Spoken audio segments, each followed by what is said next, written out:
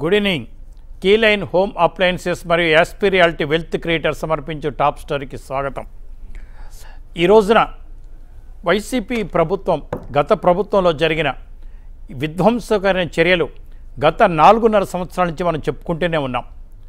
ఈ రోజున YCP party ఆఫీస్కి ఏం జరిగింది? నిజంగా ప్రస్తుత ప్రభుత్వం కొత్తగా ఏర్పడ్డ ప్రభుత్వం వైసీపీ పార్టీ ఆఫీసును కూల్చేసిందా? ఇందులో ప్రభుత్వానికి ఏమైనా సంబంధం ఉందా? అంటే వైసీపీ కట్టుకుంటున్న ఆఫీస్కి అన్ని రకాల అనుమతులు నిజంగా ఉన్నాయా?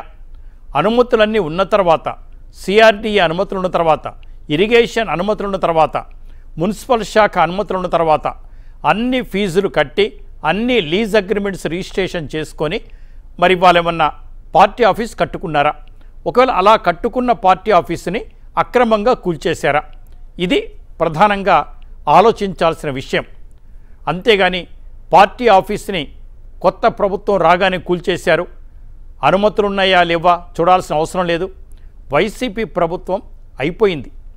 వైసీపీ ప్రభుత్వం తప్పు చేసింది. లేదా వైసీపీ పార్టీ తప్పు చేసింది. నేను రెండు నిమిషాలు జరిగిందేందో మీకు చెప్పిన తర్వాత మిగతా విషయాలకు వెళ్దాం. I'm an record. శ్రీ డొక్క మాణిక్యవర ప్రసాద్ ఐదు ఒకటి ఇరవై ఇరవై మూడున తాడేపల్లి సర్వే నెంబర్ రెండు రెండు వందల రెండు బై ఏలో బోట్ యార్డ్ స్థలం వైసీపీ ఆఫీస్కి కేటాయించాలని దరఖాస్తు చేశారు. తెనాలి సబ్ కలెక్టర్ ఒకటి రెండు ఇరవై మూడున ప్రపోజల్ పంపిస్తూ సిఆర్డిఏ వాళ్ళు మూడు ఐదు పాయింట్ మూడు ఐదు ఎకరాలు సీడ్ యాక్సెస్ రోడ్డు కోసం మార్పింగ్ చేశారు. భూమిని కేటాయించాలంటే ఇరిగేషన్ శాఖ అనుమతి కావాలన్నారు. అంటే ఐదు ఎకరాల ముప్పై ఐదు గుంటలు మార్కింగ్ చేశారు. దేనికి? సీడ్ యాక్సెస్ రోడ్డుకి. Please note this point. CCLA రెండు రెండు ఇరవై ఇరవై మూడునే దానికి ప్రభుత్వానికి సిఫారసు చేశారు. ఏడు రెండు ఇరవై మూడున ఇరిగేషన్ శాఖ అనుమతులు తీసుకోకుండానే దీన్ని క్యాబినెట్లో పెట్టి ఆమోదం తెలిపేశారు. పదహారు రెండు ఇరవై మూడున జీవో నెంబర్ యాభై రెండు విడుదల చేస్తూ ఇరిగేషన్ శాఖ అనుమతి తీసుకోవాలి అంతకుముందే వైసీపీ ఆఫీస్ కోసం కొరిటిపాడులో ఇచ్చారు అది క్యాన్సిల్ చేశారు. అంటే క్యాబినెట్ అప్రూవల్లోనే ఇరిగేషన్ శాఖ అనుమతి తీసుకోవాలని చెప్పి ఉంది.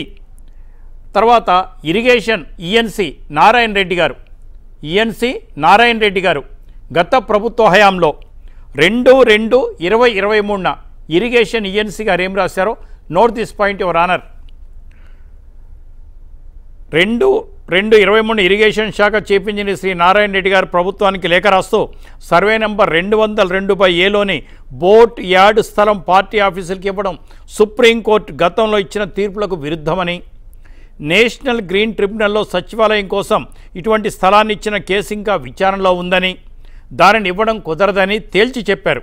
ఆయన తన నివేదికలో ఆ సర్వేలేని మొత్తం స్థలం పంతొమ్మిది ఎకరాలని అందులో తొమ్మిది ఎకరాల్లో కాలువ పారుతోందని మరొక ఐదు ఎకరాలు అమరావతి సీడ్ యాక్సెస్ రోడ్డుకి రెవెన్యూ శాఖ కోరిందని మూడు ఎకరాలు మాత్రమే మిగిలిందని అది కూడా నదీ తీర ప్రాంతం అవుతుందని ఆ మిగిలిన స్థలంలో ఇరిగేషన్ శాఖ తరఫున శిక్షణ కేంద్రాన్ని కట్టుకుందామన్నారు. అది వేరే విషయం. ఇది జరిగింది. అంటే భవన నిర్మాణానికి సిఆర్డిఏ ఎటువంటి అనుమతులు ఇవ్వకుండానే మొదలుపెట్టేశారు. ఇరిగేషన్ శాఖ అనుమతి తీసుకోమని కేబినెట్ సమావేశంలో చెప్పినా తీసుకోలేదు. పైగా దీని మీద రిజిస్ట్రేషన్ కూడా లీజ్ రిజిస్ట్రేషన్ కూడా చేసుకోలేదు. ఇక పెద్ద ఎత్తున ఫిర్యాదులు వచ్చాయి కాబట్టి ఇక్కడ అందరికీ ఎన్ ఎన్నాళ్ళు ఎన్నాళ్ళు ఇంకా వైసీపీ మీడియా వైసీపీ విశ్లేషకులు pay paid media Paytm media అబద్ధాలు చెప్తారండి ప్రజలను తప్పుదారి పట్టిస్తారండి. ప్రభుత్వ ప్రస్తుత ప్రభుత్వం వచ్చినాక నోటీస్ వచ్చిందా? కాస్త తెలివి ఉండాలి. దీనిపై పెద్ద ఎత్తున ఫిర్యాదులు సమాచార హక్కు చట్టం కింద దరఖాస్తులు ప్రజలు దాఖలు చేశారు. ఆ ఒత్తిడికి తలొగ్గి తాడేపల్లి మున్సిపల్ కార్పొరేషన్ వారు ఇరవై ఐదు రెండు వేల ఇరవై నాలుగున వైసీపీ పార్టీ వారికి షోకాజ్ నోటీస్ ఇస్తూ ఇరిగేషన్ శాఖ అనుమతులు తీసుకోవాలని కోరారు. ఎప్పుడు ఇది? పదమూడో తారీఖు ఎన్నికలు జరిగాయి. రిజల్ట్స్ ఇంకా రాలేదు. ఇరవై ఐదు మే ఇరవై అప్పటికి ఎవరి ప్రభుత్వం ఉంది?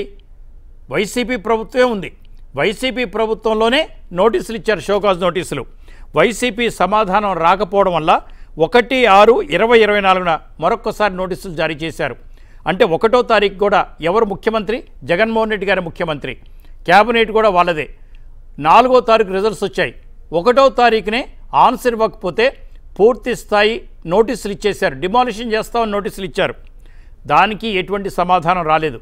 అంటే ఎన్నికలు జరగడానికి ముందు ఎన్నికలకు రిజల్ట్స్కు ముందు రిజల్ట్స్ రాకముందే ముఖ్యమంత్రి జగన్మోహన్ రెడ్డి గారు ఉన్నప్పుడే ఈ నోటీసులన్నీ ఇవ్వడం జరిగింది. చట్ట ప్రకారమైన చర్యలు తీసుకోవడం అప్పుడే జరిగింది. మరి కోర్టుకి ఈ మధ్య కాలంలో సమర్పించారు. లీజ్ డీడ్ ఉందా? లేదు సార్. ఇరిగేషన్ అనుమతి ఉందా? లేదు సార్. సిఆర్డీఏ చట్ట ప్రకారం ఉందా? లేదు సార్. మరి సిఆర్డీఏ అనుమతులు ఉన్నాయా? లేదు సార్. మున్సిపల్ అనుమతులు ఉన్నాయా? లేదు సార్. మరి ఏ అనుమతులు లేకుండా ఇల్లీగల్ కన్స్ట్రక్షన్ చేస్తూ ఇల్లీగల్ ఆక్యుపేషన్లో ఉన్న పార్టీ ఆఫీస్ని ఏం చేయాలండి? కూలగొట్టకు ఏం చేయాలండి? మీరైతే ఏం చేస్తారు? జగన్మోహన్ రెడ్డి గారు ఇంతకుముందు ఇటువంటి కట్టడాల మీద ఏం మాట్లాడారు? ఒకసారి పీసీఆర్ ప్లీజ్ ప్లే. అనేది ఎవరికైనా ఒకటే. ముఖ్యమంత్రికైనా ఒకటే రూలే సామాన్యునికైనా ఒకటే రూలే. అదే ఇల్లీగల్ కన్స్ట్రక్షన్ ఎవరైనా సామాన్యుడు కనుక చేసి ఉండింటే ఎవడైనా సామాన్యుడు కనుక ఒక రేకుల షెడ్ వేసుకుని ఉంటే ఇల్లీగల్గా రేకుల షెడ్ వేసుకుంటే కనుక గమనుంటారా అధ్యక్ష? వెంటనే పోతారు అధికారులు అక్కడికి వెళ్ళి వెంటనే అధికారులు అక్కడికి పోయి ఆ రేకుల షెడ్ను వెంటనే తీసేసే కార్యక్రమం చేస్తారు. ఏమంటే సామాన్యుడు కాబట్టి. సామాన్యుడు కాబట్టి తీసేస్తారు. అదే అదే ఒక రేకుల షెడ్ వేసుకున్న సామాన్యునికి ఒక న్యాయము. అదే ముఖ్యమంత్రిగా ఉన్న వ్యక్తికి ఏకంగా ఇలా ఇల్లు కట్టుకొని చూడధ్యక్ష ఒకసారి. అఫ- ఒక్కసారి అందరినీ కూడా చూపిస్తా ఉన్నాను అధ్యక్ష. డైరెక్ట్గా రివర్ రివర్ రివర్ పక్కనే. ఏకంగా ఈ మాదిరిగా ఇల్లులు కట్టుకొని ఫ్లడ్ కోర్సునే ఏకంగా అడ్డుకునే పరిస్థితి జరుగుతూ ఉంటే ఇంకా ముఖ్యమంత్రులకు ఒక రూలు. అధికారంలో ఉన్న ప్ర- అధికారంలో ఉన్న వాళ్ళకు ఒక రూలు. రాజకీయ చరిత్ర ఉంటే నలుగురికి రోల్ మోడల్గా ఉండాలి. ఆ రాజకీయ చరిత్ర నలుగురు చూసి అలాంటి నాయకుడు మా నాయకుడు అని చెప్పుకునే పరిస్థితిలో ఉండాలి. కానీ ఈ మాదిరిగా అధికారంలో ఉన్న వ్యక్తులే రూల్స్ మాకు మాకు పాటించవు. సామాన్యునికైతే ఒక రకమైన రూలు అధికారంలో ఉన్న మాకైతే వేరే రకమైన రూల్స్ అని చెప్పి అధికారంలో ఉన్న వాళ్ళే మెసేజ్ పంపించడం మొదలు పెడితే అసలు ఈ వ్యవస్థ బతకదు అధ్యక్ష. అందుకనే మొట్టమొదటగా ఇల్లీగల్ కన్స్ట్రక్షన్ రిమూవల్ చేసే కార్యక్రమం ఎక్కడి నుంచి శ్రీకారం చుట్టాము అని అంటే మొట్టమొదటగా ఇల్లీగల్ కన్స్ట్రక్షన్ ఇల్లీగల్గా కట్టిన అదే గ్రీవెన్స్ హాల్లో ఎక్కడైతే కలెక్టర్ల మీటింగ్ జరిగిందో ఎక్కడైతే మొత్తం వ్యవస్థ అంతా పోయి ఎక్కడైతే కూర్చొని ఉందో అదే బిల్డింగ్ నే అక్కడే మొట్టమొదటి రోజే డిమాలిషన్ అక్కడే చేయడం మొదలు చేయమని చెప్పి ఆదేశాలు ఇచ్చాము అధ్యక్ష. ఆర్డర్స్ ఇచ్చాము. వెంటనే వెకేట్ చేయండి. వెకేట్ చేయకపోతే ఈ బిల్డింగ్స్ కూడా డిమాలిష్ చేయబడతాయని చెప్పి చెప్పాం. ఇది గౌరవనీయ మాజీ ముఖ్యమంత్రి ముఖ్యమంత్రి హోదాలో సభానాయకుడి హోదాలో నిండు అసెంబ్లీలో మాట్లాడిన మాటలు. అనుమతి లేకుండా కట్టిన ఇల్లీగల్ కన్స్ట్రక్షన్స్ అయినా ఎవరి అయినా సరే ముఖ్యమంత్రి గారికైనా సామాన్యుడికైనా ఒకే రూల్ అని చెప్పారు. మాట తప్పరు మడమ తిప్పరు కదా. అందుకని జగన్మోహన్ రెడ్డి గారి మాటలను అనుసరించే ఇవాళ ఇల్లీగల్గా కట్ ఇల్లీగల్ కూల్చేశారు నేను ఒకటే అడుగుతున్నాను. ఈ పార్టీ ఆఫీస్కి అనుమతులు సిఆర్డీఏ ఇచ్చిందా? మున్సిపల్ శాఖ ఇచ్చిందా? ఇరిగేషన్ ఎన్ఓసి ఇచ్చిందా? సీడీ యాక్సెస్ రోడ్డు ఐదు ఎకరాల ముప్పై ఆరు గుంటలు కావాలని సిఆర్డీఏ వాళ్ళు రాశారు. రెవెన్యూ శాఖ రాసింది. మరి ఇప్పుడు అమరావతికి వెళ్ళాలంటే మరి ఎట్లా చేయాలి? కేవలం అమరావతికి పోకుండా అమరావతి రాజధానిని ఇంకా ఇబ్బంది పెట్టాలని కన్స్ట్రక్షన్ స్టార్ట్ చేసిన మాట వాస్తవం. అంతేకాకుండా ఇంకా ఏ రూల్స్ లేవు. నేను మొన్నే చెప్పా తాడేపల్లికి రూల్సే లేవు. ఇదిగో ఇవి- ఇది. మరి పేపర్లో వచ్చింది వారి పేపర్లోనే. క్యాంప్ ఆఫీస్కు అడ్డగోలుగా సోకులు. ప్రశ్నించలేకపోయిన కృష్ణబాబు ప్రద్యుమ్న. పైగా చెప్పినట్టు చేరని అధికారులకు చీవాట్లు. అంటే ఇక్కడ ఇంకా ఘోరం అండి. Jagan direction Supriya Reddy action. ఈ సుప్రియారెడ్డి ఎవరంటే నిన్నే నేను చెప్పాను. శ్రీనాథ్ రెడ్డి అనుకుంటా సబ్జెక్టు కరెక్షన్. వాళ్ళ వైఫ్ ఆయన ఐటీ సలహాదారు. మొత్తం దోచిపెట్టింది మేడం గారికే. తాడేపల్లి ప్యాలెస్లో ఇంటీరియర్ మొత్తం ఆమెనే. వైజాగ్ ప్యాలెస్కి ఆమెనే. ప్రభుత్వ కార్యాలయాన్నింటికి ఆమెనే. నూట ఇరవై నుంచి నూట యాభై కోట్ల రూపాయల tenders. Without without tender without tender nomination basis మీద ఆమెకి ఇచ్చారు ఆమె ఎక్స్పీరియన్స్ ఉందంటే ఏమీ లేదు. పైగా దీనికి ఈ వార్త ప్రకారమే కృష్ణబాబు గారు వీళ్ళంతా కూడా సపోర్ట్ చేశారట. ఏమిటిది? యాక్షన్ తీసుకోండి సార్. ఒక ఎంక్వైరీ చేయండి సార్. వీటన్నింటి మీద ఎంక్వైరీ చేయాల్సిందే. మనకు శాంతి ప్రసాద్ గారు ప్రముఖ న్యాయవాది జనసేన పార్టీ ముఖ్య నాయకులు ఉన్నారు అలాగే ఉమేష్ చంద్ర గారు ఆ హైకోర్టు సుప్రీంకోర్టు న్యాయవాది రమేష్ మా బ్యూరో చీఫ్ అమరావతి. ముఖ్యంగా రమేష్ గారిని అడిగి అక్కడ జరిగిన విషయాలన్నీ ప్రజల దృష్టి తీసుకొచ్చి మార్నింగ్ నుంచి ఇప్పటి వరకు జరిగిన విషయాల కోసం మన రమేష్ గారిని సంప్రదించడం జరిగింది. అలాగే ఉమేష్ గారు శాంతిప్రసాద్ శాంతి ప్రసాద్ గారు మరి రాజకీయాలు ప్లస్ తీసుకున్న చర్యలు. హైకోర్టు ఏం చెప్పింది? అసలు రూల్స్ ఏం చెప్తున్నాయి? వాళ్ళు మాట్లాడతారు. రమేష్ అసలు ఏం జరిగింది?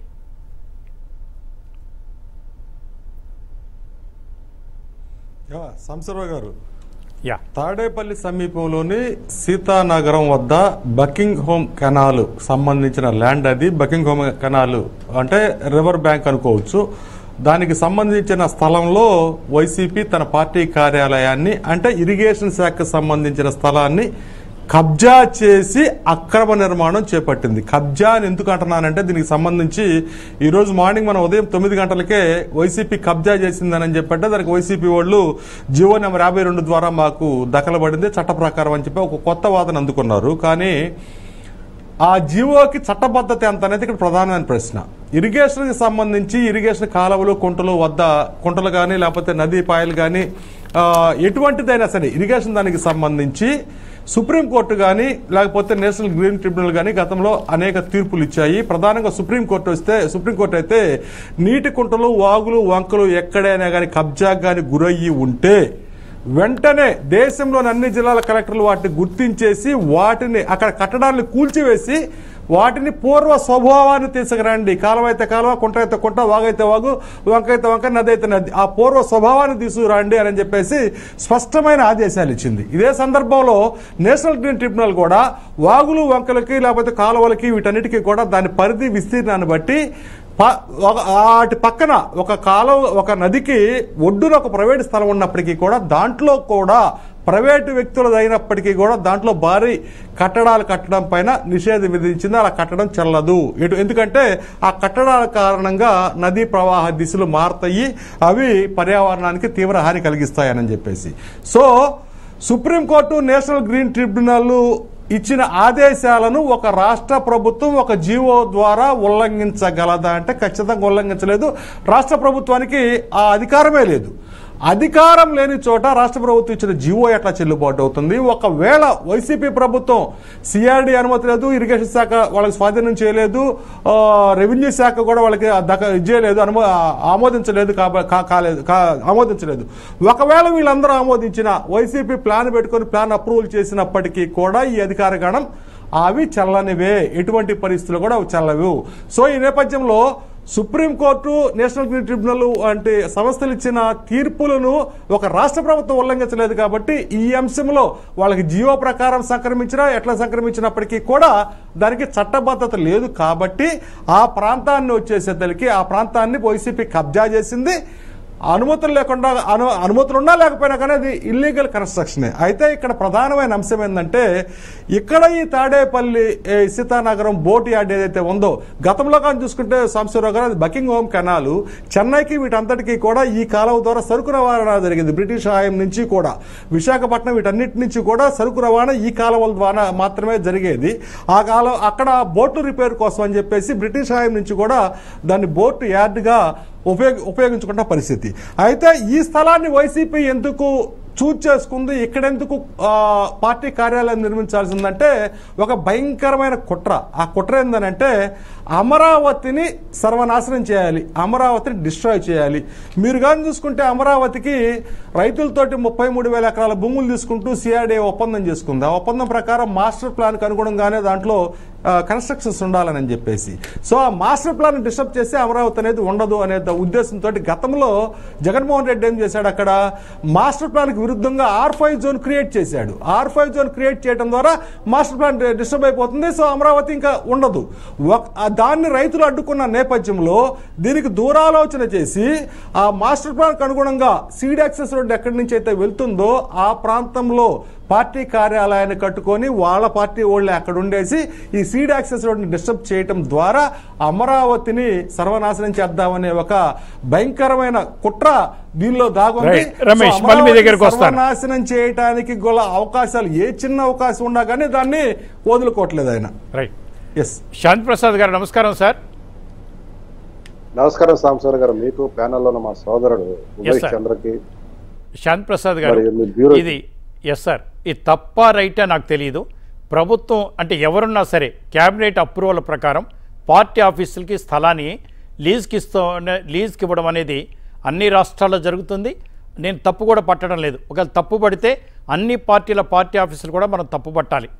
కానీ ఇక్కడ చట్టం ఏం చెప్తుందంటే ఇరిగేషన్ పర్మిషన్ తీసుకోమన్నారు. ఇరిగేషన్ శాఖ ల్యాండ్ అది. పంతొమ్మిది ఎకరాలు సర్వే నెంబర్లో ఉంటే దాంట్లో తొమ్మిది ఎకరాలు కెనాల్ తొమ్మిది ఎకరాల నుంచి కెనాల్ వెళ్తుంది. ఐదు ఎకరాల ముప్పై ఐదు గుంటలు సీడ్ యాక్సెస్ రోడ్డు కోసం రెవెన్యూ శాఖ ఆల్రెడీ దరఖాస్తు పెట్టుకుంది. మిగిలిన మూడు ఎకరాలు కూడా అది వీలు కాదు పార్టీ ఆఫీస్కి ఇవ్వడానికి. నదీ పరివాహ ప్రాంతంలో ఎటువంటి కట్టడాలు ఉండటానికి వీల్లేదని హానరబుల్ సుప్రీంకోర్టు ఆర్డర్స్ ఉన్నాయి అని చెప్పేసి స్పష్టంగా నారాయణ రెడ్డి గారు గ్రేట్ అండి నిజంగా ఈఎన్సీగా పనిచేసే నారాయణ రెడ్డి గారు అదే ప్రభుత్వంలో అత్యద్భుతంగా ఉత్తరం రాశారు కుదరదని చెప్పేశారు. దాన్ని పక్కన పెట్టి దాన్ని పక్కన పెట్టి వీళ్ళు అప్రూవల్ ఇచ్చేశారు. అప్రూవల్ ఇచ్చినప్పుడు కూడా మళ్ళీ ఇరిగేషన్ శాఖ పర్మిషన్ తీసుకోమన్నారు. రెండోది సిఆర్డీఏ పర్మిషన్ లేదు. మున్సిపల్ శాఖ పర్మిషన్ లేదు. పర్మిషన్ లేని కట్టడాలన్నీ అక్రమ కట్టడాలే. ఒకవేళ ప్రభుత్వమే కనుక కడితే ఇంకా తీవ్ర చర్యలు తీసుకోవాలి అని చెప్పి మాజీ ముఖ్యమంత్రి గారు అసెంబ్లీలో చెప్పింది కూడా తమరికి వినిపించాం సార్. ఇప్పుడు ఏం చేద్దాం చెప్పండి. ఇంకోటి ఇదంతా జరిగింది కూడా గత ప్రభుత్వ హయాంలోనే. అంటే షోకాజ్ నోటీస్ ఇచ్చింది గత ప్రభుత్వ హయాంలోనే డిమాలిషన్ నోటీస్ ఇచ్చింది గత ప్రభుత్వ హయాంలోనే. వాళ్ళు చూడండి చాలా కంఫర్టబుల్గా ఈ ప్రభుత్వం మీద నెట్టేస్తున్నారు. సాంబశివరావు గారు మీరు ఉపోద్ఘాతంలో మీరు చెప్పారు మీ బ్యూరో చీఫ్ కూడా కొంత చెప్పారు. వాటి కొనసాగింపుగా నేను జనసేన పార్టీ కూడా ఈ పార్టీ ఆఫీస్కి సంబంధించి చాలా పోరాటాలు చేసింది.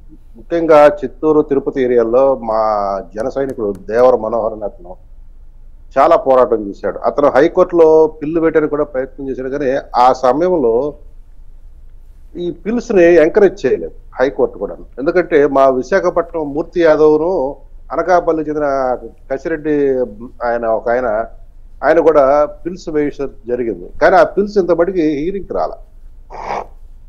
ఇవన్నీ ఇట్లా ఉన్నాయి. మీరు చెప్తున్న దాంట్లో తిరుపతి అయితే పోలీస్ శాఖకు సంబంధించిన స్థలం. పుట్టపర్తిలో అయితే ఎయిర్పోర్ట్ సంబంధించిన స్థలం. ఎయిర్పోర్ట్ జోన్లో ఉన్నది. బాపట్ల అయితే ఆర్టీసీ వారికి చెందిన స్థలం. మా మచిలీపట్నం అయితే మున్సిపల్ కార్పొరేషన్స్ అని చెప్తున్నారు కానీ యాక్చువల్గా అది పోలీస్ డిపార్ట్మెంట్ వారికి కేటాయించిన స్థలం. దాంట్లో మా ప్రస్తుత ఎంపీగా ఉన్న వ్యక్తి గతంలో వైసీపీలో ఉన్నప్పుడు అక్కడ భోగరాజు పట్టాభిరామయ్య గారి పేరుతో ఒక స్మారక భవనం కట్టాలని ఆయన ప్రయత్నం చేసి మున్సిపల్ కార్పొరేషన్కి ఆయన పర్మిషన్ కూడా లెటర్ పెట్టాడు. వైసీపీలో ఉంటూనే ఎంపీగా. కానీ అతను పర్మిషన్ అతను భోగరాజు పట్టాభిరాజు స్మారక భ- భవన నిర్మాణానికి అతను నేను నిధులు తీసుకొస్తానని చెప్పి అక్కడ స్కిల్ సెంటర్ చాలా పెట్టి జిల్లా మొత్తం చెందిన యువతకు సంబంధించి స్కిల్ డెవలప్మెంట్ చేద్దానికి ప్రయత్నం చేస్తే అక్కడ దాన్ని కాదని తోసిరాజని మమ అనే మున్సిపల్ కార్పొరేషన్ తీర్మానంతో మా మచిలీపట్నంలో కార్యాలయం కడతం జరిగింది. అట్లాగే ఎండాడ అనకాపల్లి అయితే మా కాపు కార్పొరేషన్ సంబంధించిన భూమి కింద కేటాయించారు దాన్ని. దానికి చుట్టూ ప్రహరీ గోడ కూడా కడతం జరిగింది. ప్రభుత్వ సొమ్ములతో. దాన్ని కూడాను వైసీపీ ఆఫీస్కి ఇచ్చారు. ఇట్లా చెప్పుకుంటూ పోతే విజయవాడ అయితే మీరు చెప్పినట్టు ఇరిగేషన్ శాఖకి సంబంధించి. పలు శాఖలకు సంబంధించిన ప్రభుత్వ భూముల్ని ఎకరా భూమికి సంవత్సరానికి వెయ్యి రూపాయల లీజు మొత్తంతో ముప్పై మూడు సంవత్సరాల నుంచి తొంభై తొమ్మిది సంవత్సరాలు మధ్యలో లీజు రాసుకోవడానికి ప్రభుత్వం ఇక్కడ మనం గమనించాల్సిందంటే రాజు తలుచుకుంటే దెబ్బలకు కదవా అని అధికారంలో ఉన్న ముఖ్యమంత్రి మూర్ఖుడు ఆదేశిస్తున్నాడు. అధికారులు బానిసత్వంతో దాన్ని అమలు చేస్తున్నారు. ఏ శాఖకు చెందిన అధికారులు కూడా దానికి అడ్డు చెప్పట్లేదు. ఆ యొక్క తీర్మానాలు చేయటం కానీ ఆ యొక్క భూముల కేటాయింపులు కానీ లేదా దానికి తగ్గ జీవోలు జారీ చేయటం కానీ ఒక బానిసలుగా వాళ్ళు చేశారు తప్పితే వాళ్ళు బుద్ధి ఉండి బుర్ర ఉపయోగించి చేసిన పెద్ద పద్ధతి కాదు. ఉదాహరణ మా మచిలీపట్నం తీసుకుంటే ఈ అక్కడ కేటాయించింది ఈ ఆ తీర్మానం మున్సిపాలిటీ తీర్మానం మున్సిపాలిటీకి అసలు హక్కే లేదు. ఆ యొక్క స్థలానికి కేటాయించడానికి రెండు ఎకరాల స్థలం. అయినా కానీ కేటాయించింది అక్కడ బిల్డింగ్ కూడా లేచిపోయింది ఇప్పుడు ఫంక్షనల్ అంటే పార్టీ ఇప్పుడు మళ్ళీ అధికారం కోల్పోయింది కానీ లేదా ఈ పార్టీకి అది ఫంక్షనల్ కూడా వచ్చేసేది. మీరు ఇప్పుడు అనకాపల్లిను విశాఖపట్నం ఎండడ చూపిస్తున్నారు. అవి కూడా దాదాపు కన్స్ట్రక్షన్ అయిపోయినాయి. చాలా ప్రాంతాల్లో కొన్ని కన్స్ట్రక్షన్ కొన్ని గ్రౌండ్ లెవెల్లో ఉన్నాయి. ఒకటైతే చెప్తాను సాంసరావు గారు. రాజుల సొమ్ము రాళ్ళపాలని పాత సామెతేమో కానీ ప్రజల సొమ్ము పాలకుల పాలక అది కూడా అవినీతి పనులు అవినీతి పాలకుల పాలక తయారైంది గత ప్రభుత్వ పాలనలో. నీకు ఏ- ఒక విషయం అయితే నేను ఇంకోటి కూడా చెప్పాలి వాస్తవానికి. రాజకీయ పార్టీలకి రాజకీయ పార్టీ ఆఫీసులకి జిల్లా కేంద్రాలు రాష్ట్ర రాజధానిలో నిర్ణీత స్థలాలని ప్రభుత్వం కేటాయించాలి. ఆయా పార్టీలు అప్లై చేసుకుంటే అది ఎప్పుడు అంటే దాని గైడ్ లైన్స్ ఇస్తూ గత చంద్రబాబు నాయుడు గారి ప్రభుత్వం జీవో జారీ చేసింది. అంటే శాసనసభలో ఎంత బలం ఉంటే ఎంత మేరకు స్థలం ఇవ్వాలనేది. అది మాక్సిమం రెండు ఎకరాల నుంచి పది సెంట్లు స్థలం ఇట్లా అంతవరకు నాకు నాకు గుర్తున్నంత వరకు నాకు తెలిసింది. నాకు ఎందుకంటే అప్పుడు ఆ జీవో కూడా చదివాను. అయితే నాకు తెలిసి తెలుగుదేశం ప్రభు పార్టీ కూడాను తన కార్యాలయాన్ని ప్రభుత్వం దగ్గర లీజు తీసుకోవడం కదా కొనుక్కొని కట్టినట్టు ప్ర- ప్రైవేట్ స్థలం కొనుక్కొని కట్టినట్టుగా నాకు తెలు అనిపిస్తుంది. అది ప్రభుత్వ స్థలం కాదనుకుంటున్నాను. ఇది వైసీపీ వాళ్ళు ఇప్పుడు క్లెయిమ్ చేస్తున్నట్లుగా. ఏది ఏమైనా అప్పనంగా ప్రభుత్వ ఆస్తులు పార్టీ కోసం. ఎందుకంటే ఇది పార్టీ పేరు మీద ఇప్పుడు తీసుకుంటారు. రేపు పార్టీ వైండప్ అయితే ఆస్తులు ఎవరికి వెళ్తాయి? అవి కూడా ఎక్కడ? నగరాలు పట్టణాలు జిల్లా కేంద్రాల్లో అత్యంత కీలకమైన ప్రాంతాల్లో. ఇది చాలా ముఖ్యమైన అంశం. రైట్ సార్ యా ఇది మనం గమనించాల్సిన అంశం. దీని మీద హైకోర్టులో పలు వాద్యాలు పెండింగ్లో కూడా ఉన్నాయి. మా ఉమేష్ చెప్తాడు ఆ విషయాల్లో. ఎస్ సార్ మనం ఒకటే చెప్తా ఉన్నాం.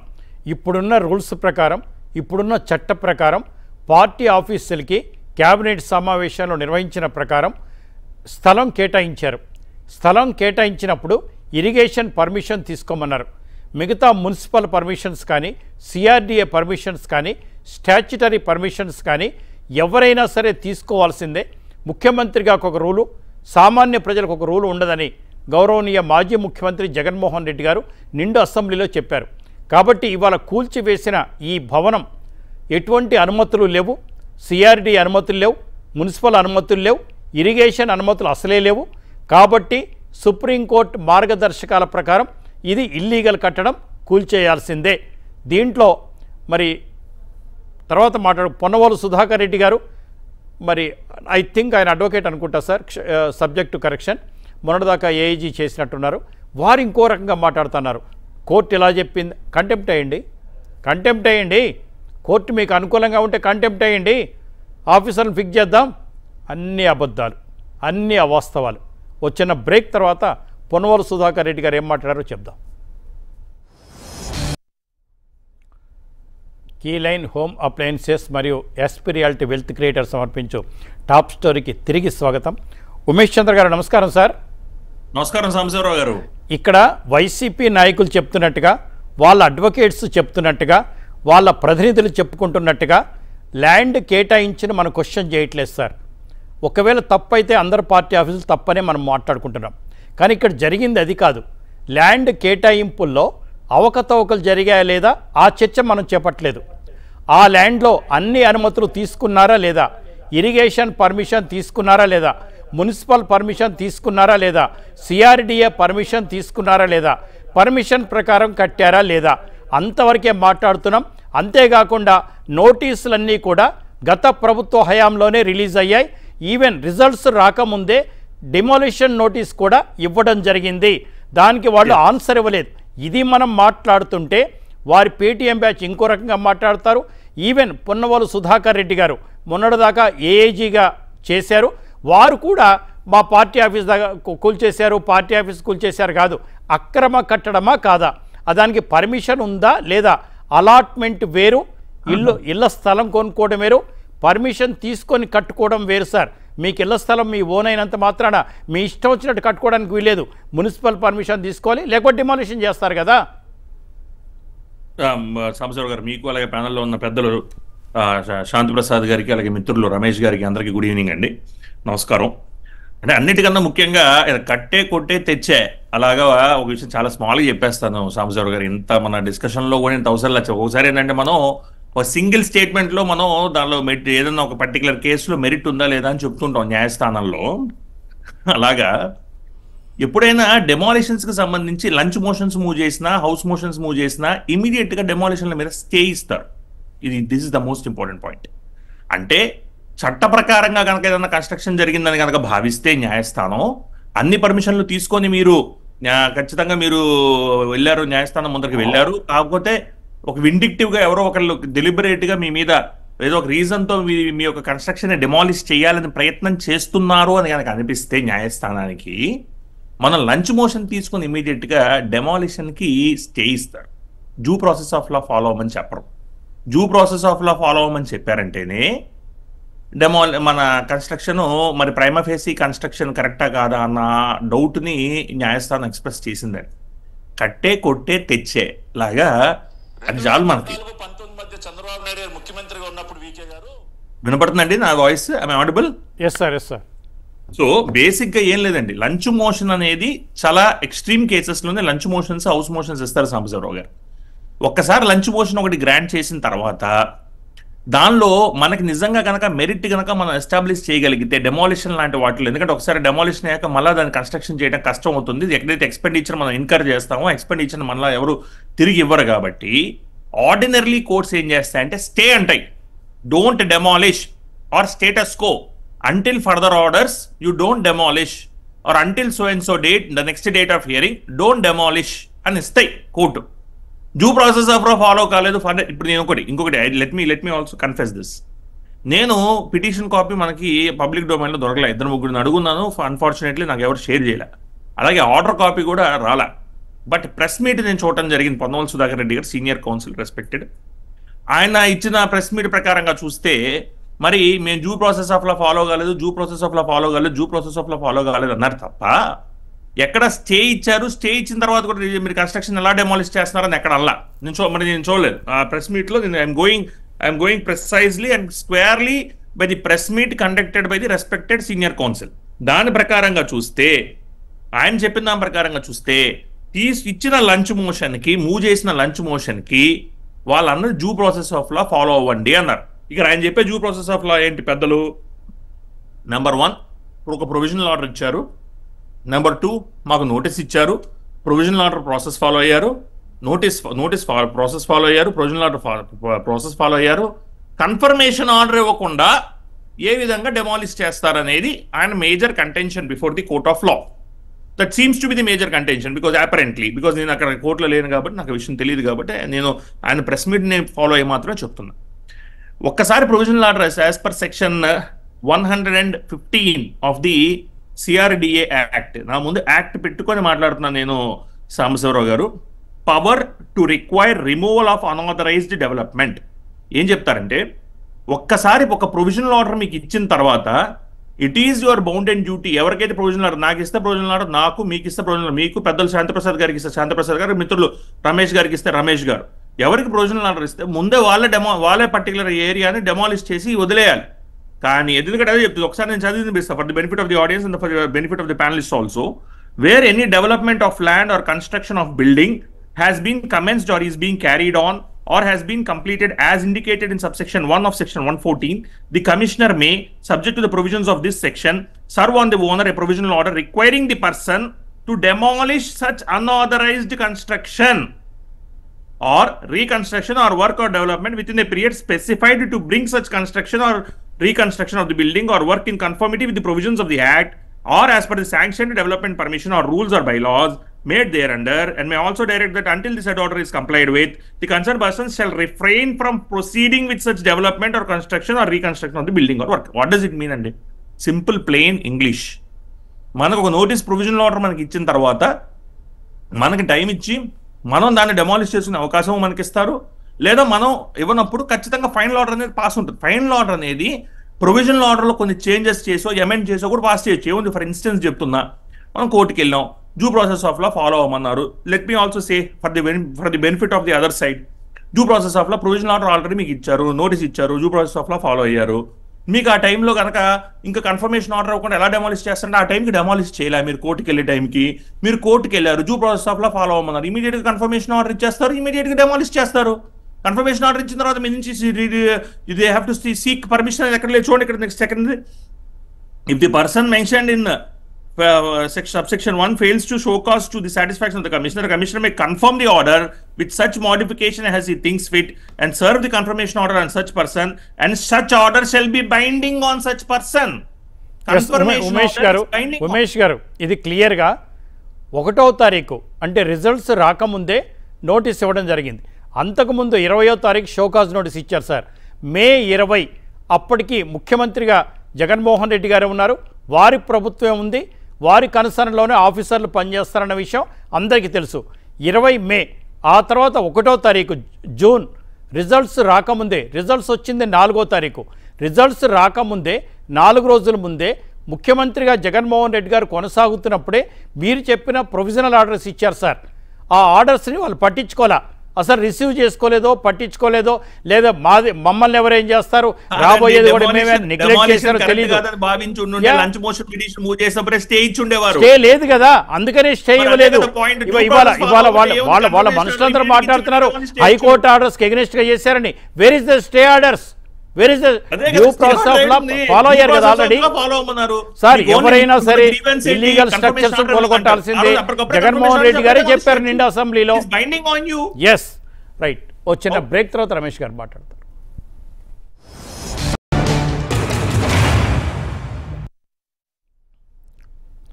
కీలైన్ హోమ్ అప్లయన్సెస్ సమర్పించు వెల్కమ్ బ్యాక్ టాప్ స్టోరీకి రమేష్ ముఖ్యంగా అక్కడ ఒక్కటే మనం చెప్తుంది స్థలం కేటాయించిన తర్వాత అది అక్రమ పద్ధతిలో కేటాయిస్తే that is different issue irrigation శాఖ పర్మిషన్ లేకుండా చేశారన్నది ఒకటి. రెండవది మచిలీపట్నంలో ఇంతకన్నా ఘోరం జరిగింది. పోలీసులు వాడుకుంటున్న కవాతు నిర్వహిస్తున్న అక్కడ ట్రైనింగ్ పొందుతున్న రోజు కానిస్టేబుల్స్ మార్నింగ్ ఉదయం కవాత్ చేస్తారు. మా శాంతిప్రసాద్ గారు ఇక్కడే ఉన్నారు మచిలీపట్నం. దాంట్లో రెండు ఎకరాలు తీసి పార్టీ ఆఫీస్కి ఇచ్చారండి. ఎవరైనా పబ్లిక్ ఉపయోగపడే దాంట్లో పార్టీ ఆఫీస్ కట్టుకుంటారా? పార్టీ ఆఫీస్కి ఇవ్వడం తప్పని నేను అంటలా. కానీ ఎక్కడ ఇవ్వాలి ఎక్కడ జనాలు లేని దగ్గర రష్ లేని దగ్గర వాళ్ళు పార్టీ కార్యకలాపాలు చేసుకోవచ్చు. పోలీసు స్థలంలో రేపొద్దున సెక్రటేరియట్లో ఇవ్వచ్చు లేకపోతే ఇంకెక్కడైనా ఇవ్వచ్చు.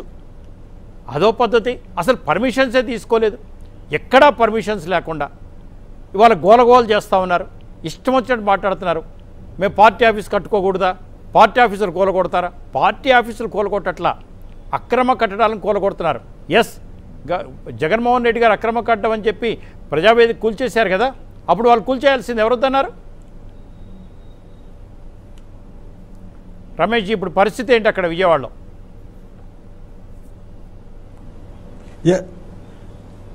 యా- యా ప్రస్తుతానికైతే మాత్రం వైసీపీ కార్యాలయాన్ని కూల్చివేసేయటం అనేది దాదాపు పూర్తవచ్చింది ఇక్కడ అంశం ఏంటంటే ఈరోజు ఉదయం నుంచి కానీ జరుగుతున్న పరిణామాలను చూస్తే వైసీపీ కాంపౌండ్లు అంటే జగన్మోహన్ రెడ్డికి సన్నిహితంగా తిరిగే మెలిగే కొంతమంది ప్రైవేట్ సంభాషణలో జగన్మోహన్ రెడ్డి మానసిక స్థితి గురించి చెప్తా ఉంటారు. ఆ స్థితి గురించి చూస్తే గత ఐదేళ్ళ పాలనలో వైసీపీ అన్ని కూడా సింక్ అవుతూ ఉంటుంది. YCP Jagan close circle batch ఏమంటారంటే జగన్ మానసిక స్థితి Jagan ఏమనుకుంటాడంటే God is great I'm God అనుకుంటాడంట. అంటే దేవుడు రూల్స్ ఫాలో కాడు. అతను రూల్స్ పెడతాడు అంతే. అతను చెప్పిందే వేదం. దీనికి ఉదాహరణ చెప్తే అతను మొట్టమొదటి డిమాలిష్ చేసింది ప్రజావేదిక. ప్రజల కోసం ప్రజల సొమ్ముతో ప్రభుత్వ స్థలంలో నిర్మించిన ప్రజావేదిక అక్రమ కట్టడం అని చెప్పేసి జగన్ డిసైడ్ చేశాడు అధికారులు కూల్చేశారు కానీ ఇక్కడ గమనించాల్సిన అంశం ఏంటంటే ప్రజావేదిక ఎవరు సొమ్ము? ప్రభుత్వ సొమ్ము. ప్రభుత్వ సొమ్ము ఇల్లీగల్ కన్స్ట్రక్షన్ ప్రభుత్వ ప్రభుత్వ స్థలంలో కట్టిన కన్స్ట్రక్షన్ ఇల్లీగల్ కన్స్ట్రక్షన్ ఎట్లా అవుతుంది ఇంకొక అంశం. జగన్మోహన్ రెడ్డి భావించినట్టు అది కృష్ణా నది మీద ఉన్న లేదు కానీ ఉందనుకున్నప్పటికీ కూడా అది పర్మనెంట్ కట్టడం ఏమి కాదు. నట్లు బోల్ట్లు విడదీసే ఓడదీసేస్తే ప్రజావేదికని యాస్టీజ్గా ఒక్క బోల్ట్ కూడా వృధా కాకుండా మరో స్థలంలో దాన్ని నిర్మించే అవకాశం ఉంది. కానీ అది పర్మనెంట్ స్ట్రక్చర్ కాకపోయినా విడదీసి ఎటువంటి నష్టం జరగకుండా చూసుకునే అవకాశం ఉన్నా జగన్మోహన్ రెడ్డి దాన్ని కూల్చేయించాడు అంటే ఎటువంటి ఉపయోగం లేకుండా అక్కడికి ఇప్పటికీ కూడా అక్కడ మనకి సాక్షాత్కరిస్తాయి. ఆ శిథిల శిథిలాలు అంతా కూడా. సో జగన్మోహన్ రెడ్డి అక్రమ కట్టడం అన్నాడు కాబట్టి అది అక్రమ అక్రమ కట్టడమే. ఇంకొక అంశం ఏంటంటే మందబలంతో నాకు అధికారం ఇచ్చారు భారీ స్థాయిలో రూల్స్ అనేవి నేను ఫాలో కాను. నేను పెట్టిందే రూల్స్ అనేది జగన్మోహన్ రెడ్డి భావన. ఉదాహరణకి ఏంటంటే మీరు చూసే ఉంటారు ఎస్సీసీగా నిమ్మగడ్డ రమేష్ కుమార్ ఉన్నప్పుడు కరోనా టైంలో లోకల్ బాడీ ఎలక్షన్లు వస్తే కరోనా కండిషన్స్ కేంద్రం హెచ్చరికలు వీటన్నిటి దృష్టిలో పెట్టుకొని లోకల్ బాడీస్ని వాయిదా వేయాలని చెప్పి నిర్ణయిస్తే దానికి సంబంధించి కొంత న్యాయస్థానాల్లో వివాదం చెలరేగింది. చివరికి ఎస్సీసీ నిర్ణయాన్ని న్యాయస్థానం సమర్థించిన పరిస్థితి. ఆ న్యాయస్థానం సమర్థించిన నేపథ్యంలో జగన్ ఒక మాట అన్నాడు. ప్రెస్ మీట్ పెట్టాలా కదా బహుశా అది మొదటి ప్రెస్ మీట్ అనుకుంటాను. దాంట్లో ముఖ్యమంత్రి నేనా ఎస్సీసీ రమేష్ కుమారా అన్నాడు. ఇది ఒక రాజ్యాంగపరమైన వ్యవస్థ. దీంట్లో నువ్వు ముఖ్యమంత్రి నువ్వైనప్పటికీ కూడా కొన్ని సందర్భాల్లో రాజ్యాంగబద్ధ సంస్థలు అవి స్వతంత్రంగా పనిచేస్తామంటాయి అలాంటిది ఎస్సీసీ అనేది ఎలక్షన్ కమిషన్ అనేది దానికి ఉన్న అధికారాల మేరకు ఖచ్చితంగా స్వతంత్ర సంస్థ. అన్ని ప్రజా శ్రే- శ్రేయస్సు దృష్టిలో పెట్టుకొని అది నిర్ణయాలు తీసుకుంటుంది. అలాంటి సందర్భంలో కూడా సీఎం నేనా రమేష్ కుమార్ అని చెప్పేసి జగన్ మాట్లాడితే ఆయన మానసిక స్థితి ఏంటంటే అధికారం నాకు ఇచ్చారు. నేను చెప్పిందే రూలు. అదే అమలు కోర్టులు కానీ లేకపోతే రాజ్యాంగం కానీ ఇవన్నీ కూడా నాకు సరిపడవు అనే. విధంగా జగన్ తీరు ఉందనే దానికి నిదర్శనం. అట్లానే అసలు ఈరోజు ప- దానికి కృష్ణా నదీ ప్ర- ప్రవాహ ప్రాంతంలో కట్టడం అనేది వీళ్ళకి అధికారం లేదు. ప్రభుత్వానికి అధికారం లేదు. నిర్మాణానికి అధికార యంత్రాంగం అనుమతులు ఇచ్చినప్పటికీ కూడా అవి చెల్లవు. సుప్రీంకోర్టు నేషనల్ గ్రీన్ ట్రిబ్యునల్ నిబంధనల తీర్పులను ఉల్లంఘిస్తూ చేసిన వాటిని వీడికి ఇంకో గమనించాల్సిన అంశం- చివరి గారు. ఇవి అక్రమ కట్ట కట్టడానికి లేదని ఎవరండి? వైసీపీ ప్రభుత్వంలో ఏఎల్సీ నారాయణ రెడ్డి. ఇది ఇల్లీగల్ కనెక్షన్ చెప్పి నోటీసులు ఎప్పుడు వచ్చినాయి? వైసీపీ ప్రభుత్వంలోనే వచ్చినాయి. టీడీపీ ప్రభుత్వంలో కాదు కూల్చివేయడానికి సిద్ధపడింది సిద్ధపడుతూ నోటీసులు ఇచ్చింది కూడా వైసీపీ హయాంలో కానీ టీడీపీలో కాదని గుర్తుంచుకోవాలి. రైట్ ఎస్ శాంతిప్రసాద్ గారు అంటే గత ప్రభుత్వంలో ఎన్ని అవకతవకలు జరిగాయో ఎన్ని అన్యాయాలు జరిగాయో ఎన్ని చట్టవిరుద్ధంగా జరిగాయో ఒక్కొక్కటి ఒక్కొక్కటి బయటకు వస్తూ ఉన్నాయి. పవన్ కళ్యాణ్ గారు ఒక టీంను ఏర్పాటు చేశారు సార్. ఆర్థిక విధ్వంసం కట్టడాల విధ్వంసం పర్యావరణ విధ్వంసం ఇసుక మైనింగ్ అన్నీ కూడా అవన్నీ తప్పుదారు పట్టకుండా ఇవాళ గోల గోల చేస్తూ ఉన్నారు. అక్రమ కట్టడం కూల్చేయమని చెప్పి జగన్మోహన్ రెడ్డి గారే ముఖ్యమంత్రి కట్టినా సరే సామాన్యుల్లాగానే కూలగొట్టామని చెప్పారు. వారు అసెంబ్లీలో చెప్పిన మాటనే ఎవరు ఫాలో కావట్లేదు. వాళ్ళు చేసిన ఇల్లీగల్ యాక్టివిటీస్ ఒకటా రెండా ఎన్ని బయటకు వస్తాయో తెలియట్లా. అవన్నీ రాకుండా ఉండడానికి వాళ్ళ గోల బ్యాచ్ స్టార్ట్ అయింది. అంతేకాకుండా పులివెందుల్లో మేము ఎక్స్క్లూజివ్ కవర్ చేశాం సార్. పులివెందుల్లో జగన్మోహన్ రెడ్డి గారు వారి ఇంటికి వెళ్తే ఆ ఇంటి అద్దాలన్నీ పగలగొట్టింది ఎవరో కాదు. కార్యకర్తలే పగలగొట్టారు. కార్యకర్తలందరినీ పిలిచారు సార్. లీడర్లు అందరినీ రమ్మంటే వచ్చారు వాళ్ళు వాళ్ళు వచ్చి ఎందుకు ఓడిపోయామని అడిగితే మమ్మల్ని ఎప్పుడన్నా ఇంటికి రానిచ్చారా? ఇంటి కిలోమీటర్ల దూరంలో ఉండిచ్చారు. అసలు ఇక్కడ పోలీసులు మమ్మల్ని దగ్గర కూడా రానివ్వలేదు. బ్యారికేడ్స్ పెట్టారు. అసలు ఇటువంటి భవనం ఉందని కూడా మాకు తెలియదు. ఇప్పుడే మమ్మల్ని పిలిచారు. ఇప్పుడు గుర్తుకొచ్చామా మేము? వాలంటీర్లు లేడిపోయారు గృహసారథులు లేడిపోయారు ఇప్పుడు గుర్తుకొచ్చామా? ఇన్నాళ్ళు మేము గుర్తుకు రాలేదా? ఒళ్ళు హోరం అయిపోయింది డబ్బులన్నీ అయిపోయినాయి అని కోపం కొద్దీ పగలు అదే సంథింగ్ జరిగింది. అంతా వైసీపీ కార్యకర్తలే విజువల్స్ నిండా ఉన్నారు. ఇది వారి పరిస్థితి. సాంబశివరావు గారు మీరు కానీ బ్యూరో చీఫ్ రమేష్ గారు చెప్పింది కానీ మా సోదరుడు ఉమేష్ చెప్పింది కానీ అన్ని వాస్తవాలే. ఇప్పుడు మా సోదరుడు చెప్పినట్టుగా నిజంగా మీ దాంట్లో ప్రైమా ఫేసీ కేసు ఉండేవి అక్కడ గన కూలుస్తారు అది సక్రమ కట్టడం సక్రమ కట్టడం కూలుస్తున్నారనే ప్రయత్నం చేస్తుంటే ఖచ్చితంగా స్టే ఆర్డర్ ఇచ్చేవాళ్ళు. స్టే ఆర్డర్ అనేది లేకుండా లేదా కనీసం స్టేటస్ అనేది కూడా లేకుండా వాళ్ళు డ్యూ ప్రాసెస్ అనేది దాని మీద మాట్లాడుతూ ఉంటే వాళ్ళు సెల్ఫ్ గోల్ వేస్తున్నారు. రెండోది ఏంటంటే బై దర్ యాక్ట్ ఏది ప్రిలిమినరీ నోటీస్ ఇచ్చిన తర్వాత కూడా వాళ్ళు దాన్ని వైలేట్ చేస్తూ హైకోర్టుకు వెళ్ళారు అంటే మేము సిఆర్డిఏ యొక్క ఉత్తర్వులు మేము ఖాతరు చేయదలుచుకోలేదు మేము బై హుక్ ఆర్ క్రుక్ ఒక రక్షణ పొందాలి ప్రతి- మీకు ఇంకో చిన్న ఉదాహరణ చెప్తాను. అసలు సాక్షి ఛానల్కి లైసెన్స్ రద్దు గత రెండు సంవత్సరాలు అది లైసెన్స్ లేకుండా రన్ అవుతుంది. హైకోర్టులో కేసు వేసి ఎంప్లాయీస్ ద్వారా మీరు కనుక దాన్ని ఇప్పుడు రద్దు చేస్తే మా యొక్క జీవనోపాధి కోల్పోతుందని మానవతా కోణంలో దాని మీద స్టే తెచ్చుకొని ఆ సాక్షి ఛానల్ కానీ అది రన్ అవుతుంది. వీళ్ళ ఇల్లీగల్ కార్యక్రమాలు అట్లా ఉంటాయి. ఇక మీరు పోతే ఇల్లీగల్ కన్స్ట్రక్షన్ మీద జగన్ రెడ్డి బయటేసి చాలా మంచి పని చేశారు. కానీ ఇప్పటం గ్రామం మీరు ఒకసారి గమనిస్తే కేవలం జనసేన పార్టీ ఆవిర్భావ సభకు స్థలాలు ఇచ్చారని రాత్రికి రాత్రి వాళ్ళు ఒక తీర్మానం చేసుకొని ఎవరెవరి ఇళ్ళు అనేది నిర్ధారణ చేసుకొని ఉదయం మూడు గంటల కాడి నుంచే కూలగొట్టడం మొదలు పెట్టారండి సూర్యుడు ఉదయించేటప్పటికి మొత్తం కూల్చివేతలు అయిపోయినాయి. వాళ్ళు నోటీసులు సర్వ్ చేశారంటే నోటీసులు సర్వ్ చేయాలి. ఎప్పుడో సంవత్సరం కింద ఇచ్చాము రెండు సంవత్సరాల కింద ఇచ్చామంటున్నారు. మా అక్కడ కార్యకర్తలు హైకోర్టుకు వెళితే హైకోర్టు స్టే ఇచ్చింది. ఆ స్టే ఇచ్చిన తర్వాత కూల్చివేతలు ఆపారు మీరు ఇది గమనించాలా? కానీ ఇక్కడ ఆఫీసు స్టే కూల్చివేతలు హైకోర్టు ఎంత మటుకు స్టే ఇవ్వలేదు. ఉన్నట్టయితే మరి మా మా మాజీ ఏజీ చూపించాలి కదా. చూపించట్లేదంటే అక్కడ ఇవ్వనట్టు లెక్క. మీరు ప్రజావేదిక కూల్చారు. అది కూడాను నది పరివాహక గ- గర్భంలో ఉందని చెప్తున్నారు కదా. మరి ఇప్పుడు మీరు పట్టిన పార్టీ ఆఫీస్ కూడా అది అదే ఇరిగేషన్ దాంట్లో వచ్చింది కదా. ప్రజావేదిక ఏదైతే రూల్ అప్లై అవుతుందో ఇప్పుడు మీరు మీ సెంట్రల్ పార్టీ ఆఫీస్ అది కూడా అదే రూల్ అప్లై అవుతుంది కదా. కూల్చివేయాల్సిందే కదా. మరి చింతకాల అయ్యన పాత్రుడు కూడా ఉదయం పూట వెళ్ళి మీరు కూల్చివేస్తుంటే ఆయన హైకోర్టుకి వెళ్ళి రక్షణ తెచ్చుకున్నారు కదా స్టే స్టేలు. మీకెందుకు రావట్లేదు? ఎందుకు రావట్లేదు అంటే మీరు ఎకరం కనీసం పది కోట్ల విలువ చేసే స్థలాల్ని రాజకీయ పార్టీ ఆఫీస్ మీరు ఇక్కడ ఒకటి గమనించండి. మనకి రాజధానిలో రాష్ట్ర రాజధానిలో పార్టీ కేంద్ర కార్యాలయం కోసం స్థలం అంటే అర్థం చేసుకోవచ్చు. కానీ ప్రతి జిల్లాలో కూడా ఆ పార్టీ ఆఫీస్ నిర్మాణం కోసం రెండు ఎకరాలంటే అసలు అప్పుడు ఉన్నాయి పదమూడు జిల్లాలు ఇప్పుడేమో ఇరవై ఆరు జిల్లాలు. ఈ ఈ ప్రభుత్వం మరలా వస్తే ఇరవై ఆరు జిల్లాల్లో కూడా కనీసం రెండు ఎకరాల చొప్పున కబ్జా జరుగుతూ ఉండేది. అదృష్టం దేవుడి స్క్రిప్ట్ ప్రజల ఆశీర్వాదం అతనికి వ్యతిరేకంగా రావడం వల్ల అతను వెంట్రుకు కూడా పీకలేని తర్వాత మొత్తం వెంట్రుకలు పీకేసి పదకొండు మాత్రమే మిగిల్చిన తర్వాత రాష్ట్రం అద్ అదృష్టం చేసుకుంది సార్. ఒకటైతే చెప్పదలుచుకున్నాను. మీరు అందాక అన్నట్లుగానే అది ఏ శాఖ పరిధిలోకి వస్తుందో ఆ భూమి ముందు ఆ శాఖ అనుమతి తీసుకోవాలా? ఆ శాఖ అనుమతి తీసుకున్న తర్వాత ఏ బిల్డింగ్ మామూలుగా ప్రైవేట్ బిల్డింగ్ అయినా ప్రభుత్వ బిల్డింగ్ అయినా ఎటువంటి నిర్మాణ అనుమతులు తీసుకోవాలి? అవన్నీ కూడా తీసుకోవాలా? అవన్నీ తీసుకున్న తర్వాతే మళ్ళీ డీవియేషన్స్ లేకుండా కడితేనే అది సక్రమ నిర్మాణం. మళ్ళీ డీవియేషన్స్ ఉంటే అది అక్రమ నిర్మాణం.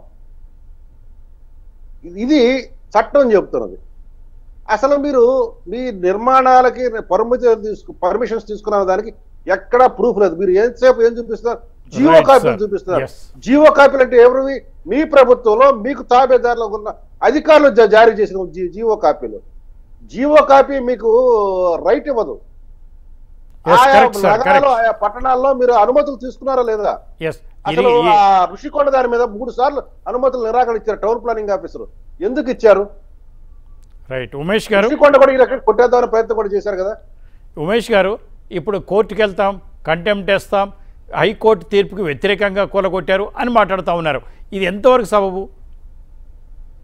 అంటే హైకోర్టు తీర్పుకి వ్యతిరేకంగా ఏముందండి? హైకోర్టు ఏం చెప్పింది? జూ ప్రాసెస్ ఫాలో అవ్వమంది. జూ ప్రాసెస్ ఏముంది సెక్షన్ నిన్న చదివి. నోటీసులు ఇవ్వాలంతే అక్కడ నేను ఏదైతే చదివి వినిపించానో చట్టంలో నుంచి చదివి వినిపించా నాకు అత్యంత గౌరవం నా నా ఫ్రెటర్నిటీకి సంబంధించిన ఎవరైనా నాకు అత్యంత గౌరవం ఉంటుంది. సో వాళ్ళంతా ఎవరన్నా అటువైపు ఎవరు ఆర్గ్యూ ఎవరు చేసినా అత్యంత గౌరవంతో మాట్లాడుతున్నాను. డ్యూ ప్రాసెస్ ఆఫ్ లా కింద నోటీస్ ఇచ్చారు ప్రొవిజనల్ ఆర్డర్ ఇచ్చారు కన్ఫర్మేషన్ ఆర్డర్ కూడా ఉంటుంది అది వాళ్ళు వెరిఫై చేసుకోవచ్చు. అది కనుక ఇవ్వకపోయి ఉంటే వాళ్ళు ఏమైనా కంటెంట్ అనొచ్చు అది కూడా ఇచ్చిన తర్వాత డెమాలిష్ చేసి ఉంటారు అది ఇచ్చింది వాళ్ళ మీద బైండింగ్ వాళ్ళకేమి వాళ్ళు దాన్ని ఛాలెంజ్ చేసో లేదా దానికి టైం ఇవ్వాలనో ఏమీ లేదు. కన్ఫర్మేషన్ ఆర్డర్ ఇస్ బైండింగ్ అని క్లియర్గా ఇండికేట్ చేశారు. That is the language employed in the particular section మరి నాకు అర్థం కాని విషయం ఏంటంటే మరి ఇప్పుడు అన్నిటికన్నా ముఖ్యంగా మనం అర్థం చేసుకోవాల్సిందండి సాంబశివ గారు? Even at the cost of repetition let me say this న్యాయస్థానానికి పర్టికులర్గా డెమాలిషన్ మ్యాటర్స్కి కోర్టు వెకేషన్ టైంలో ఉన్నప్పుడు కూడా అంటే మొన్న రీసెంట్గా మనకి కోర్టు వెకేషన్ టైంలో ఉంది హైకోర్టు ఆనరబుల్ హైకోర్టు వెకేషన్ టైంలో కూడా డెమాలిషన్ మ్యాటర్స్కి అట్మోస్ట్ ఇంపార్టెన్స్ ఇస్తారు. ఎందుకంటే ఒకసారి డెమాలిషన్ అయిపోతే మళ్ళీ ఆ స్ట్రక్చర్ని తిరిగి మనం బిల్డ్ చేయడానికి టైం పడుతుంది ఎక్స్పెండిచర్ అవుతుంది ప్లస్ అదేవిధంగా నేషన్ లాస్ట్ కదా సార్ నేషన్ లాస్ట్ కదా? లాస్ లాస్ అవుతుంది. సో అందుకని ఇవన్నీ కన్సిడరేషన్లోకి తీసుకొని నిజంగా మన ఇప్పుడు ఇందాకైతే ఏదైతే శాంతిప్రసాద్ గారు చెప్పారో ఇప్పటం గ్రామంలో సంబంధించిన ఇష్యూ కానీ అయ్యన్న పాత్రుడు గారికి సంబంధించిన ఇష్యూ కానీ ఇలా చాలా ఇష్యూస్లో వెంటనే మనం కోర్ట్ డోర్స్ నాక్ చేసినప్పుడు ఇమీడియట్గా పైగా లంచ్ మోషన్ మూవ్ చేశారు. లంచ్ మోషన్ మూవ్ చేసి ఈరోజు మనం మీకు మీరు చెప్పింది ఏంటంటే కోర్టు మేము ఏదైతే ప్రజెంట్ చేసామో ఆర్గ్యుమెంట్స్ దానిలో ప్రైమ ఫేసి కోర్టు మెరిట్ లేదా అన్నట్టు కనబడుతుంది. మీరే చెప్పి మీరే చె- చెప్పక చెప్పేసినట్టే. డ్యూ ప్రాసెస్ ఆఫ్ లా మాత్రమే ఫాలో అవ్వమన్నారు. అంతే తప్ప స్టే ఇచ్చి డెమాలిషన్ చేయొద్దండి. డెమాలిషన్ చేయడం కరెక్ట్ కాదు. ఎందుకంటే మీ దగ్గర ప్రొవిజనల్ ఆర్డర్ కూడా ఉందన్నారు మీరు. మీరు ప్రొవిజనల్ ఆర్డర్ నోటీసు అన్ని తీసుకుని వెళ్ళినప్పుడు ప్రొవిజనల్ ఆర్డర్ ఇచ్చారంటే ఏంటి? It is up for demolition అనే కదా. సో ప్రొవిజనల్ ఆర్డర్ ఇచ్చి మన ప్రొవిజనల్ ఆర్డర్ కూడా తీసుకెళ్ళాము ఎందుకంటే సబ్జెక్ట్ టు కరెక్షన్ సాంబశివరావు గారు ఇంకా మనకి అది పిటిషన్ కాపీ కానీ ఆర్డర్ కానీ ఇంకా పబ్లిక్ డొమైన్లో రాలేదు. ఏదైతే మీడియాలో ఉందో దాని ప్రకారంగానే మాట్లాడుతాను let me also state this on record దాని ప్రకారంగా చూస్తే మరి మీ దగ్గర ప్రొవిజనల్ ఆర్డర్ ఉంది నోటీసు ఉంది కన్ఫర్మేషన్ ఆర్డర్ ఇచ్చి డెమాలిష్ చేస్తారన్న విషయం మీకు తెలుసు న్యాయస్థానానికి మీరు ఇన్ఫర్మేషన్ ఇచ్చారు. అయినా న్యాయస్థానం స్టే ఇవ్వడానికి మరి మరి ఇవ్వలేదు అంటే డ్యూ ప్రాసెస్ ఆఫ్ లానే ఫాలో అవ్వమన్నారు ఉమేష్ గారు ఫాలో. చేసి ఉండాలి. చూద్దాం నాకు తెలిసి షోకాజ్ నోటీస్ మీద మాత్రమే స్టే ఇవ్వరు. ఎందుకంటే దానికి ఆన్సర్ ఇచ్చుకుంటాం మనం. ప్రొవిజనల్ ఆర్డర్ మీద మాత్రమే ఆర్డర్స్ వస్తాయి. మీరు చెప్పినట్టు కోర్టు ఎటువంటి ఆర్డర్స్ హానరబుల్ కోర్టు పాస్ చేయలేదు. Due process of law follow కమ్మన్నారు అంటే నోటీసులు ఇచ్చి వాళ్ళ దృష్టిలో ఉన్న తర్వాతనే action తీసుకోమన్నారు. What the action by taken? Jaganmohan Reddy గారు మాజీ ముఖ్యమంత్రి అప్పుడు ముఖ్యమంత్రి హోదాలో చెప్పిందే. అప్పుడు వారు చెప్పిన చట్టం ఇప్పుడు వ్యతిరేకం. ఎలా ఉంటుందండి? ఇది ఇవాళ చర్చ. చూద్దాం ఏం జరగబోతుందో రేపెల్లుండి చర్చలో పాల్గొన్న శాంతి ప్రసాద్ గారికి అలాగే ఉమేష్ చంద్ర గారికి అండ్ మా బ్యూరో చీఫ్ అమరావతి మార్నింగ్ నుంచి ఇవా ఇవాళ వరకు మొత్తం కవర్ చేశాం. ప్రజలకు ఉన్నతున్నట్టుగా చెప్పగలిగాం. నిజాలు చెప్పగలిగాం. చట్టాన్ని ఎక్స్ప్లెయిన్ చేయగలిగాం. ఇది ప్ర is up to the public to know it ఇది రమేష్ గారికి కూడా ధన్యవాదాలు. ఇది వాళ్ళ టాప్ స్టోరీ.